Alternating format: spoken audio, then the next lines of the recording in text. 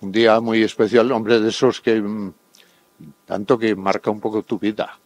¿eh? Es un día y luego, en fin, cuando has escrito tanto y como la escritura y la creación es solitaria, pues luego todo esto es como un maravilloso alboroto. Yo he dicho, haciendo uso de esa cuestión de las palabras y de los y de los académicos que el premio ahora me ha apremiado un poco. El tener que venir aquí recibirlo en fin eh, mantener un poco el tipo. Aunque yo yo soy consciente de que no tengo mala percha